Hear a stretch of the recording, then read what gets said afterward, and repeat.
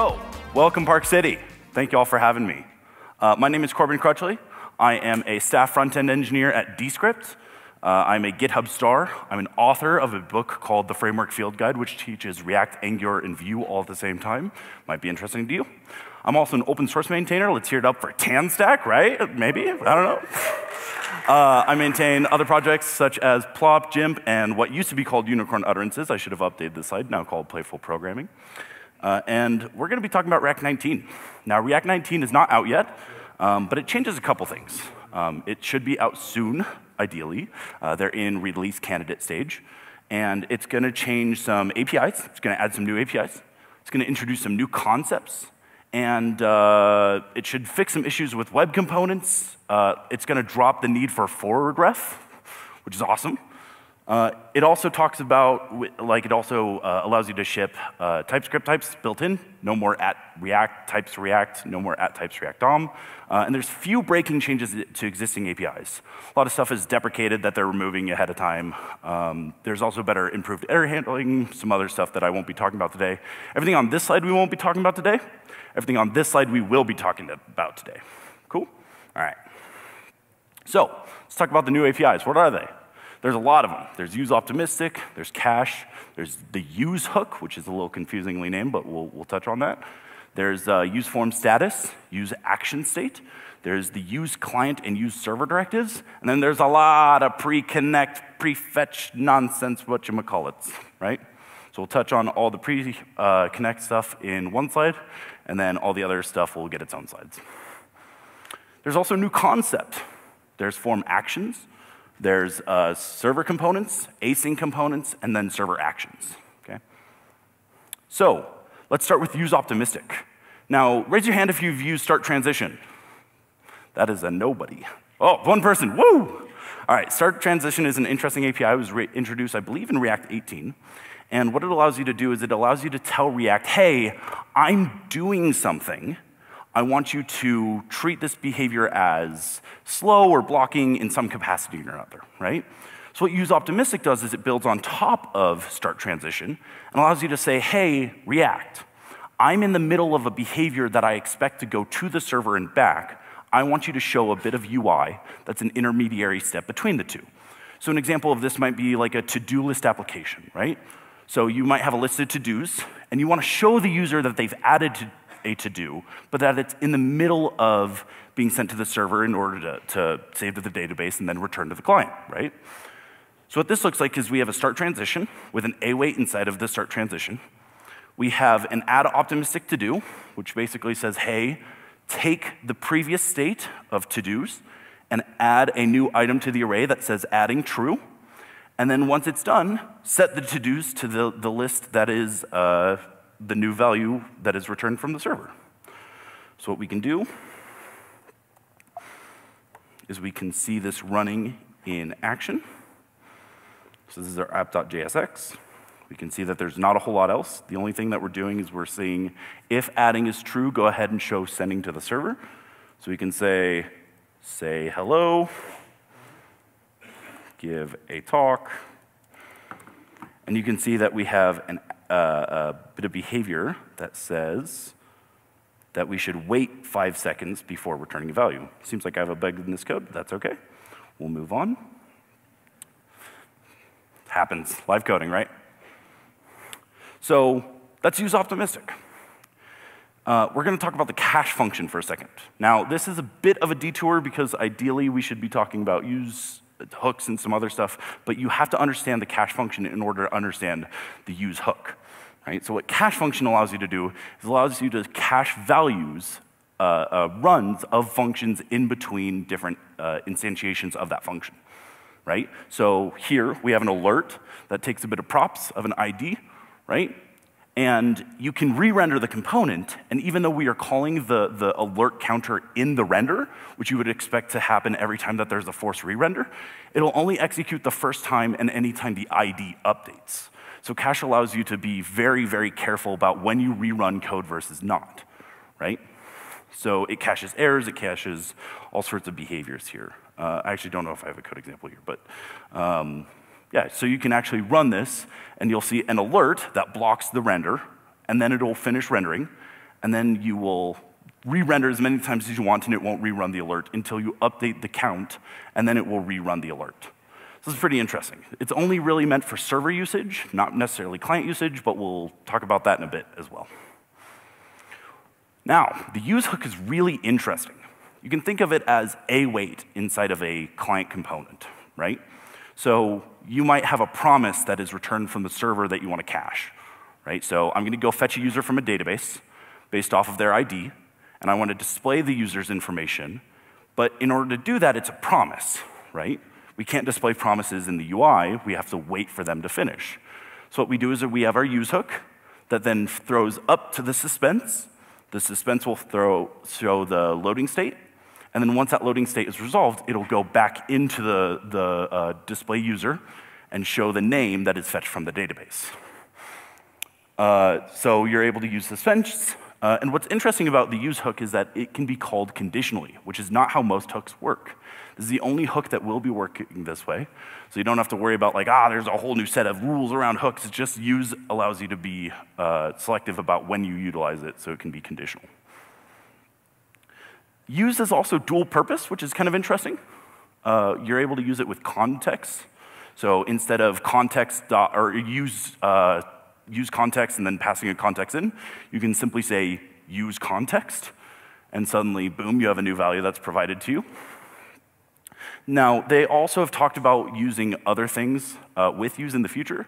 But you can think of the use hook as like a mechanism of extending React's functionality in order to use, which makes sense, uh, the, the underlying API, whether that's a promise, whether that's a context or whatnot, right?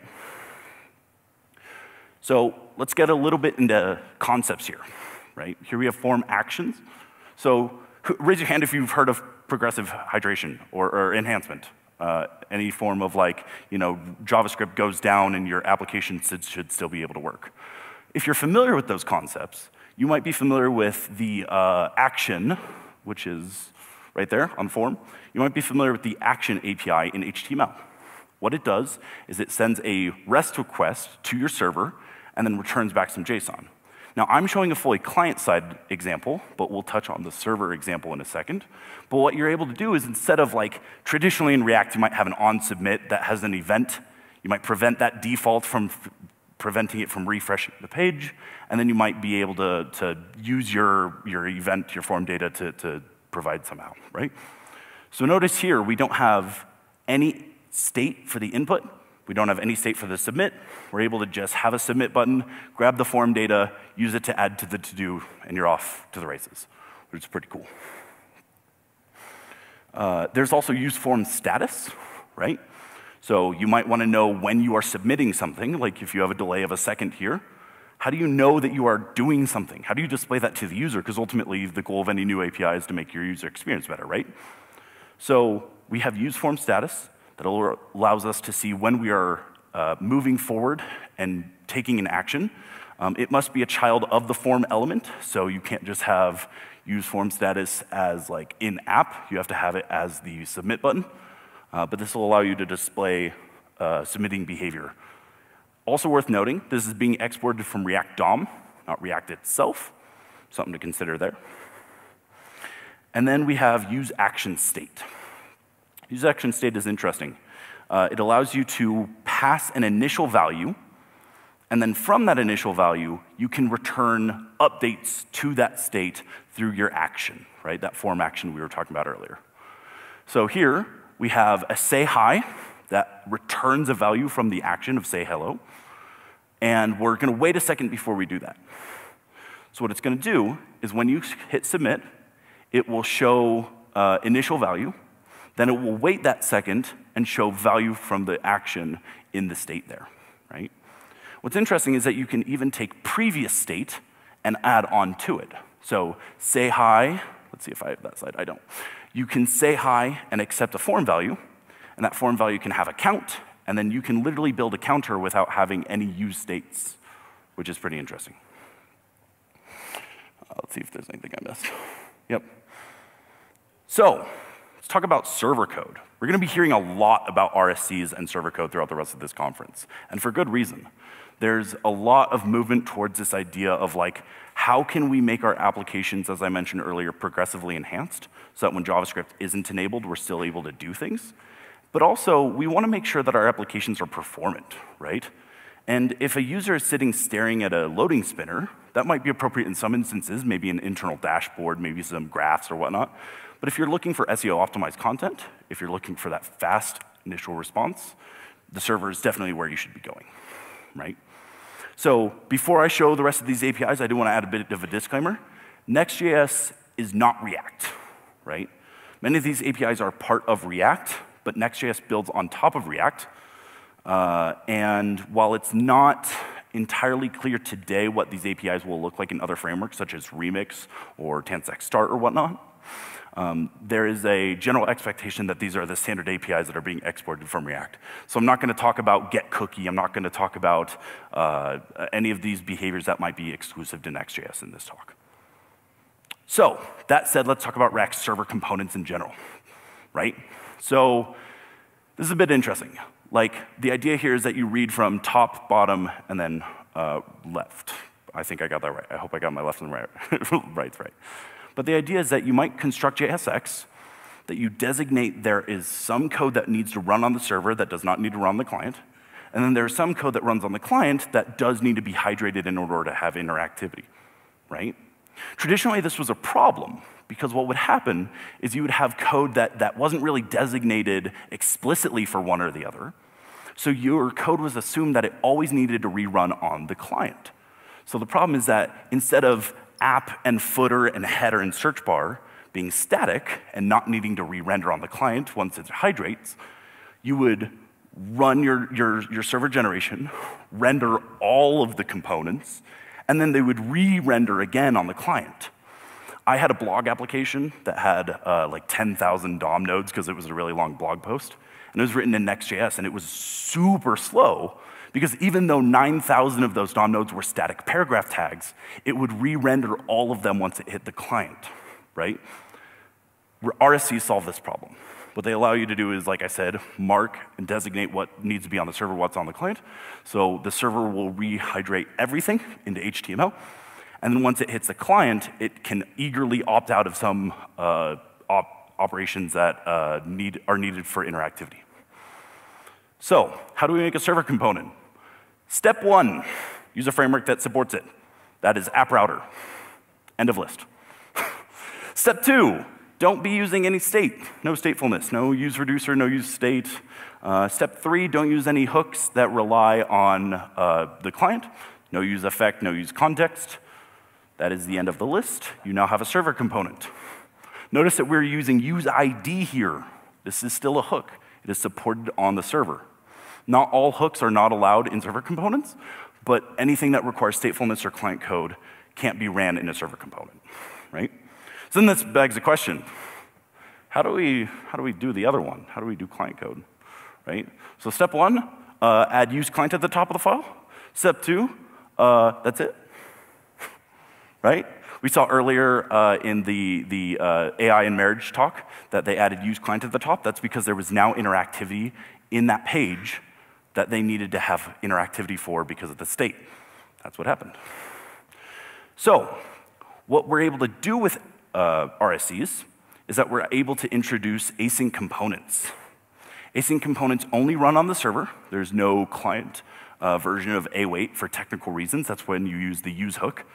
But what you can do is instead of fetching the user from the database on the client, you can await a promise on the server pass the, excuse me, pass the JSX to the client, and that's the only thing that is serialized and sent over the wire. That database call never makes it to the client. The only thing that makes it to the client is not even the full user object, just the name property in the paragraph tag there, right? So async components are pretty rad.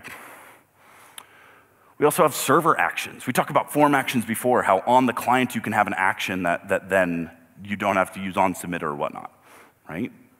But if you turn off JavaScript, that doesn't work anymore. You're on the client still.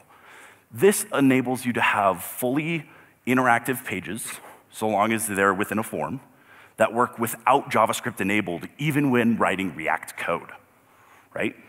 So here we have an add to do. We have some state on the server that is returned from the database using an await. And then we have an action that listens for the form data, right? That form data is then sent using a REST request, REST, yes, REST request, uh, to the front end using uh, HTML standards. Those HTML standards then have like an RPC style functionality that then runs the add to do. We need to designate this function using use server.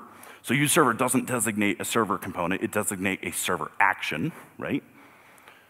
And then we are able to add the to do to the database, reload the page to itself, and suddenly we get fresh data. Pretty cool. Uh, we also are able to run this without JavaScript, like I had mentioned, and we can combine this with use action state uh, and use form status in order to get a lot of interactivity when the client uh, uh, JavaScript is enabled, right? So like, you know, it's not a great experience to just see nothing and then suddenly the page refreshes with new data. That might be ideal rather than the page crashing, but you still want to show the interactivity elements when JavaScript is enabled, and that's why you can use those hooks with it. So earlier we were talking about the new APIs. We said that there was a lot of pre, like connect, pre-load, pre-whatnot. What that allows you to do is there are APIs in the browser that allow you to prefetch like methods and, or, uh, sorry, modules and scripts and whatnot. This allows you to do that inside of JavaScript itself rather than in your HTML. So that's pretty handy if you're looking to eagerly optimize your server code.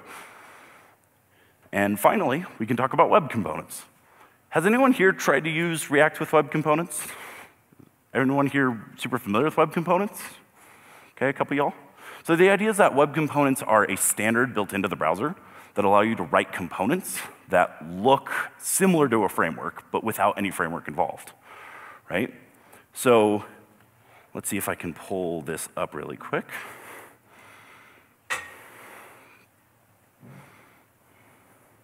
Yeah. So like SL range comes from a library called Shoelace, right? And they look just like components in React with the exception that they don't have capital letters, right? Historically, it's been very, very challenging to use React with web components.